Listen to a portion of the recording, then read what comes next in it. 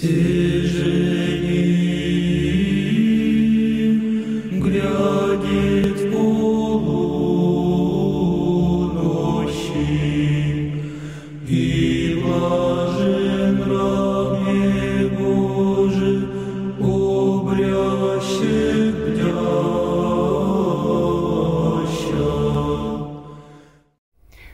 века назад философ и богослов Алексей Степанович Хомяков писал, «Для России возможна только одна задача – сделаться самым христианским из человеческих обществ. Она определена нам издревле и нелегка, и отрекаться от ее решения мы безнаказанно не можем. Вздумали бы мы быть самым могучим, самым материально сильным обществом? Испробовано. Или самым богатым, или самым грамотным, или даже самым умственно развитым обществом. Все равно успеха бы не было ни в чем. А все потому, пишет Хомяков, что никакая низшая задача не получит всенародного сознания и не привлечет всенародного сочувствия. А без этого успех невозможен. Делать нечего. России надо быть или самым нравственным, то есть самым христианским из всех человеческих обществ, или быть ничем. Но и легче вовсе не быть, чем быть ничем. Эта мысль подтверждается всем ходом истории, когда наше Отечество вольно и невольно выдвигается в лидеры христианского мира. Пример тому наши дни, когда Россия возвращается к традиционным духовным ценностям, но это становится одной из причин отдаления от нее Запада.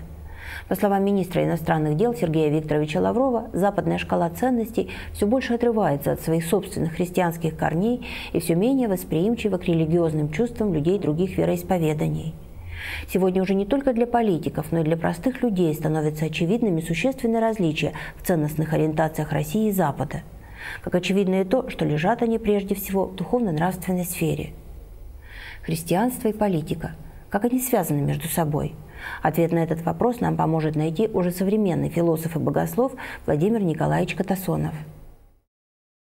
Для исторической России, конечно, э, ценности а, связанные с христианством, связанные с пониманием жизни как хождением перед Богом, это было, вообще говоря, как бы и аксиомой, и, но фундаментальнейшей аксиомой. Э, Все христианство пропитывало всю жизнь э, э, русского человека.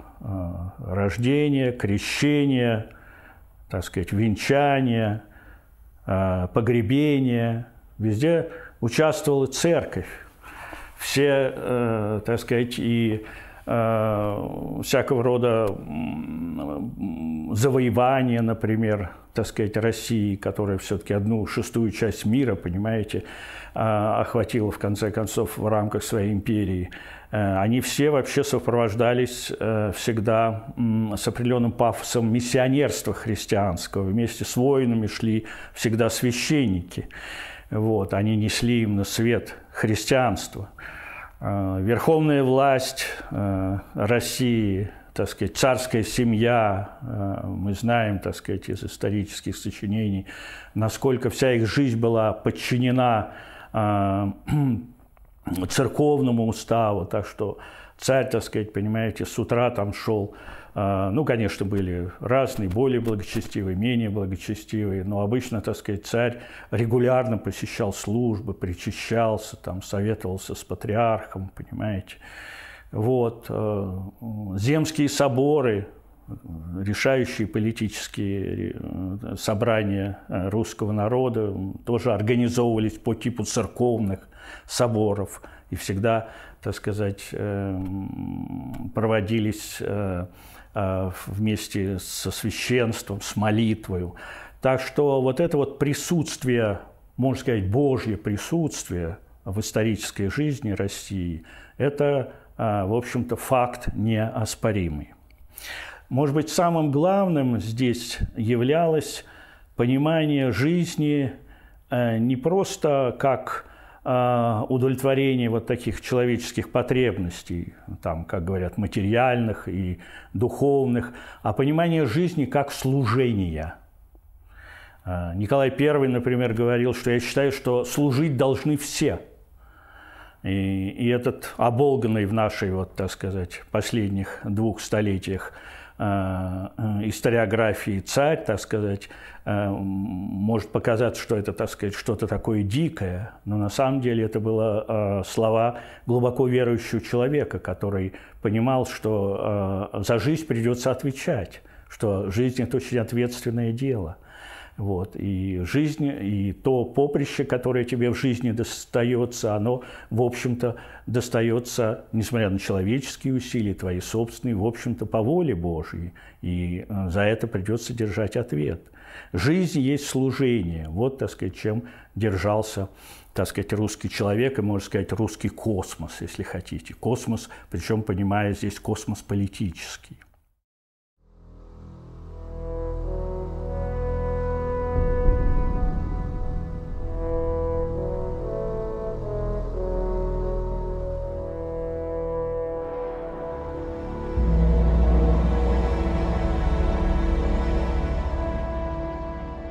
Внешняя политика, как я уже сказал, она тоже, так сказать, была теснейшим образом связана с христианскими ценностями. То есть э, на полях сражений русская кровь проливалась постоянно за братьев христиан, освобождение э, болгар, э, греков, э, сербов – многие участия, например, э, русских э, войск в европейских кампаниях очень часто было связано именно с ограничением антихристианских сил, те, которые выходили, так сказать, на арену политической и военной, так сказать, деятельности. Россия в этом смысле очень рано научила себя чувствовать Третьим Римом, страной, которая отвечает за христианство. Поэтому совершенно не случайно то, что э, идеи, например, э, связанные с завоеванием Константинополя, так сказать, они были там в XVIII веке, так сказать, настолько популярны. Вот. И во внутренней жизни, и во внешней, э, и во внутренней политике, во внешней политике вот эти вот христианские начала, это было как бы, так сказать, вот такая определенная алмазная сеть, на которой строилась вся, вообще говоря, культура и вся цивилизация российская. Сегодня Россия понимает себя как продолжательница а, исторической России. И в этом смысле, э, естественно, вопрос, а, так сказать, насколько мы храним вот эти вот начала.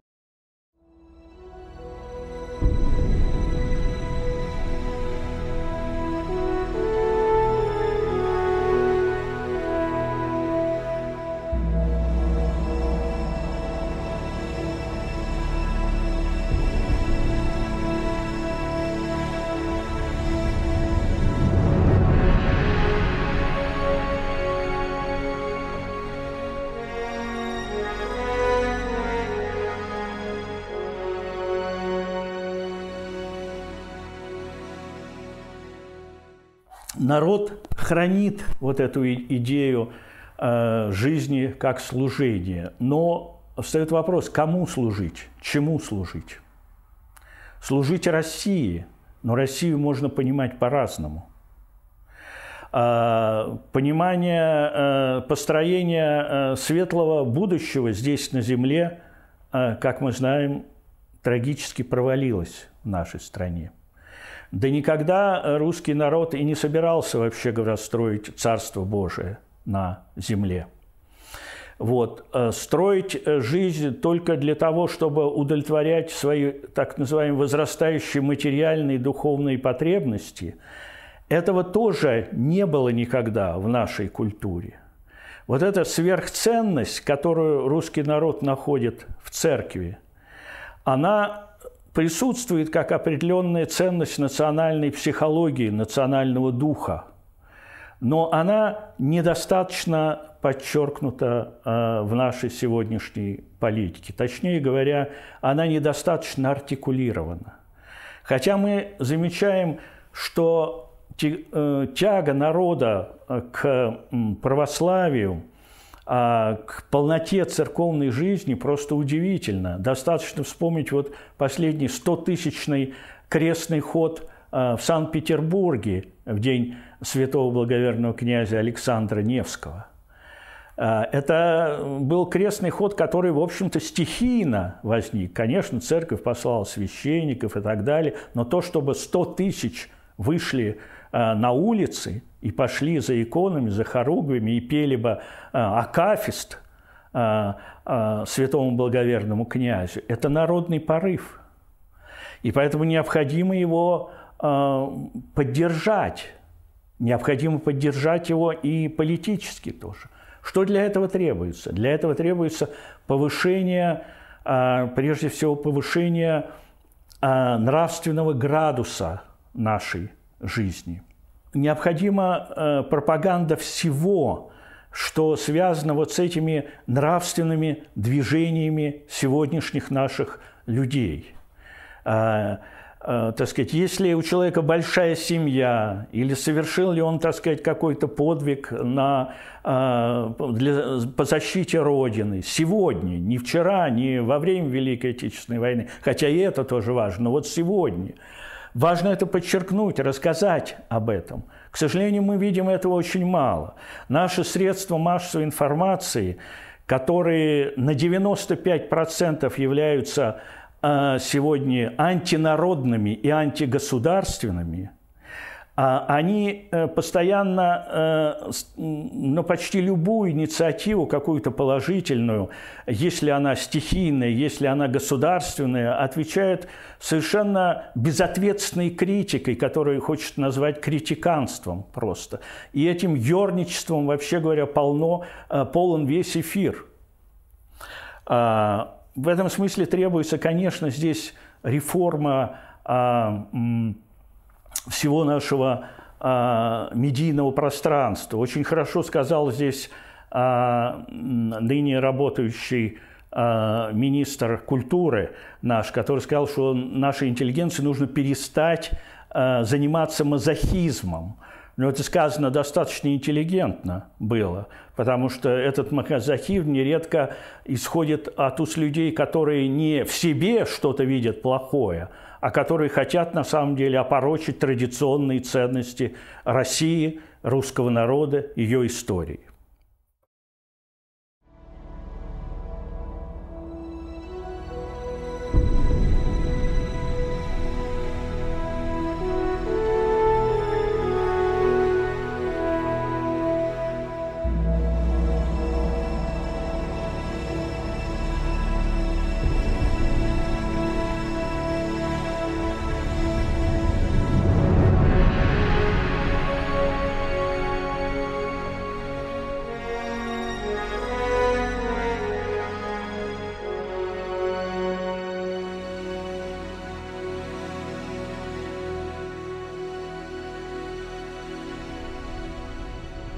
Если же говорить о внешней политике, то сегодня для России очень остро стоит проблема союзников в мире. А существует такая формула стратегическое партнерство. Оно нередко употребляется а, в нашем политическом лексиконе, но иногда чувствуешь, что это просто некоторый жест, за которым а скрывается на самом деле глубокое политическое одиночество России в сегодняшнем мире. А это вопрос очень серьезный, потому что мы видим, на каких острых гранях балансирует сегодня внешняя политика во всем мире. Кто будет нашими союзниками? Кто является, что мы будем защищать? Что мы можем защищать из конъюнктурных соображений – там, например, где-то у нас есть база, там, понимаете, или так далее. А что мы будем защищать так, что э, матери, посылающие своих сыновей э, умирать на, порах, на полях сражений, э, будут благословлять их на это? Э, в этом смысле, может быть, несмотря на всю политическую конъюнктуру, все сильнее проявляется мотив нравственного единства, связывающего между собой народы. Те принципы единства, которые существовали э, и были, так сказать, э, так сильны вот в XX веке, это единство экономическое, единство идеологическое. Как показала жизнь, на самом деле они не очень глубоки и достаточно поверхностны. И в некотором смысле они были испытаны в 20 веке и э, почти отброшены. И в этом смысле все острее проявляется вот это начало нравственного единства. Ну, какие можно здесь привести примеры? Например, такие сложные отношения с Украиной. Вот. Но невозможно представить, что Россия начала бы воевать с Украиной. Скорее, так сказать, государство сами по себе развалится, чем русский народ начнет воевать с украинским народом, с которым у нас единая вера. Я сейчас говорю именно о вере, о нравственных началах, а не только о том, что у нас много очень родственных здесь связей – Э, с э, людьми, живущими на Украине. А другие примеры, э, например, Сербия, расколотая сегодня на части Сербия. А, несмотря на все сложности ее внутренней политики и взаимоотношения ее с Европейским Союзом, сербы очень хорошо поняли, что а, та помощь, которая им действительно нужна, она может прийти только из России. Всякая другая помощь будет не просто не бескорыстна, это само собой, а она по духу будет не та. Я помню, как э, в одном э, черногорском э, селении отдыхал там и во время праздника сидели там после литургии за столом с местными, в общем-то, простыми людьми. И э, я упомянул э, имя Суворова, вот, и мой собеседник встал и сказал, когда говорит, говорят Суворов, я встаюсь, встаю и крещусь. А, так вот, э, балканские народы не просто благодарны русскому народу и помнят это, они все острее понимают, что их участие в Европейском Союзе и их связи с Россией, они не только различные политические, но они имеют под собой еще определенную нравственную, духовную, в конце концов, религиозную основу, которую на самом деле никак переделать нельзя.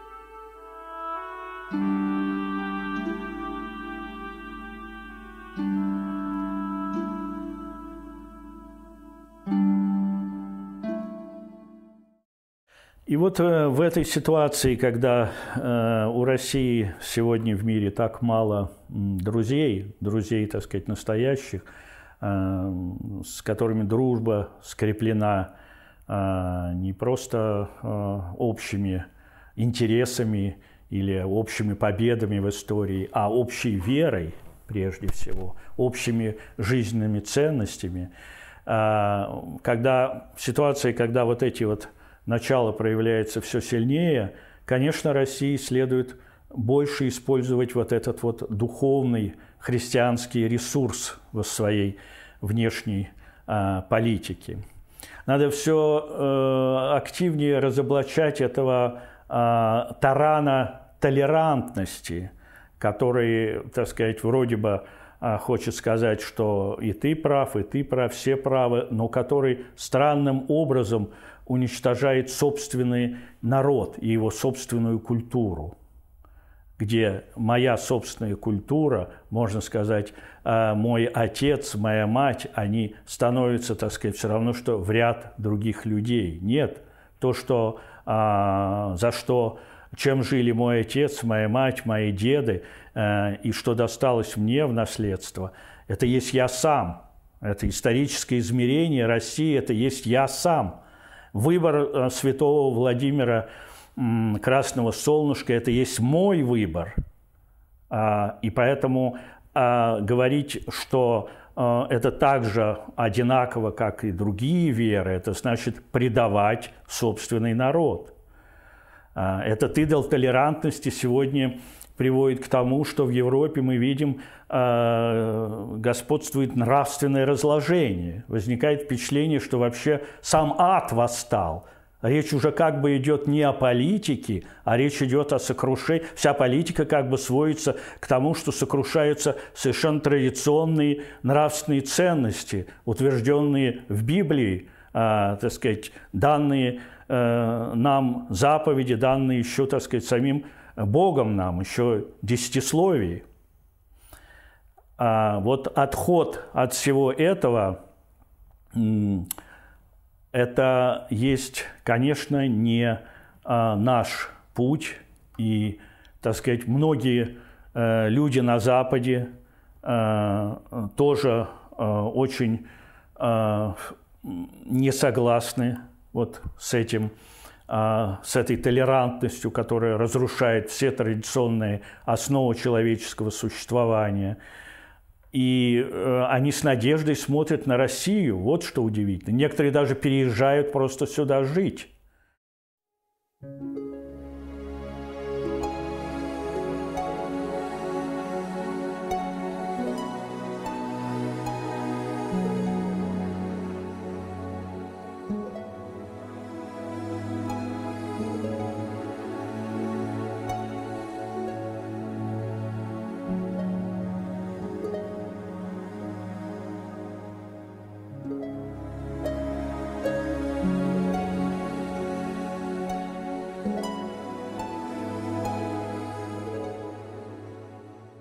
Недавно, так сказать, весной был во Франции, заходя э, в католические храмы, там лежит литература, в которых э, священники, богословы, миряне подробнейшим образом объясняют вред вот этих вот новых гендерных представлений, этих э, извращенных представлений о семье, и люди выходят на тоже на многотысячные демонстрации – а тем не менее, как говорится по-русски, Васька слушает да ест. Понимаете? Элиты, руководящие политические элиты, прямо а, предают вот эти вот а, ценности и чаяния своих же собственных народов. А, для России во внешней политике в этом смысле есть определенное преимущество, потому что а, мы видим, что наше несогласие с элитами здесь политическими – оно э, оказывается единодушным с мнением народов этих стран. И это есть большой ресурс нашей внешней политики, который нужно, конечно, использовать. Традиционно Россия от э, Екатерины Великой до Путина, а, можно прямо сказать сегодня, выступает именно таким как бы гарантом христианских ценностей в Европе. Только сегодня, конечно, на это нужна еще особая решимость для того, чтобы сравняться нам с нашими э, предками. Здесь м, хочется перед Россией как бы ставится вопрос. Вся мировая конъюнктура как бы ставит вопрос, готова ли она быть вот этим вот э, мировым защитником традиционных христианских ценностей сегодня.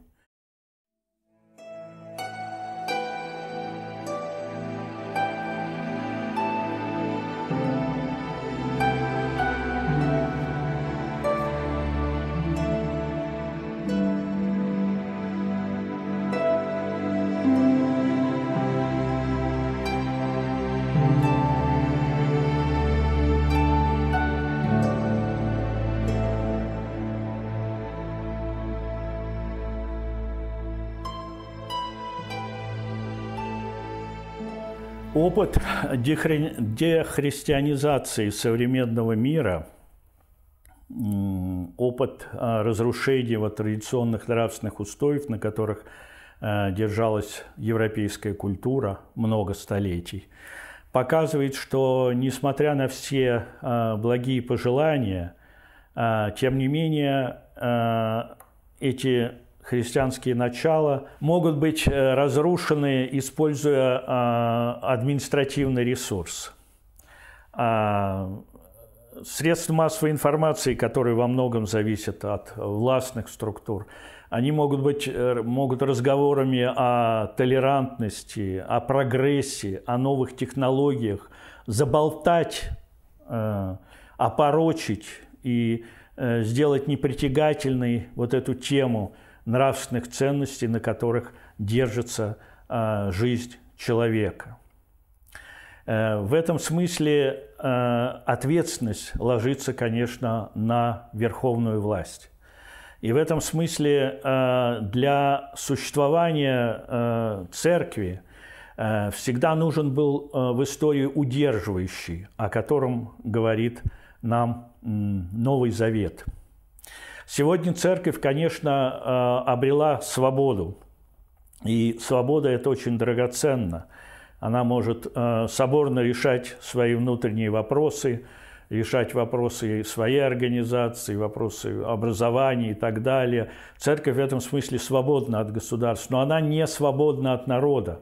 И если ее пытаются оболгать перед глазами народа, а мы видим, какая стервенелая кампания против э, э, русской православной церкви была развязана, так сказать, за последний год, то, конечно, государство здесь должно защитить церковь потому что церковь есть выразитель нравственных устоев народа. Нельзя, так сказать, безнаказанно э, и оскорблять свою мать те, и уничтожать те начала, на которых держится вообще сама жизнь в нашем обществе и в нашей культуре. Э, поэтому вот эта вот идея удерживающего, идея власти, которая все-таки поддерживает эти нравственные начала нашего народа и защищает его, она очень важна. Таким удерживающим в истории христианства был и Константин Великий, и Николай I, и Александр III, и Николай II. Вот. Перед сегодняшней нашей верховной властью также встает этот серьезнейший вопрос, готова ли она поддержать те начала, которыми всегда жила история нашей страны и нашего народа. Готова ли она поддержать эти начала для того, чтобы для всего мира светили а, вот эти вот начала христианской человечности. Свят, свят, свят, еси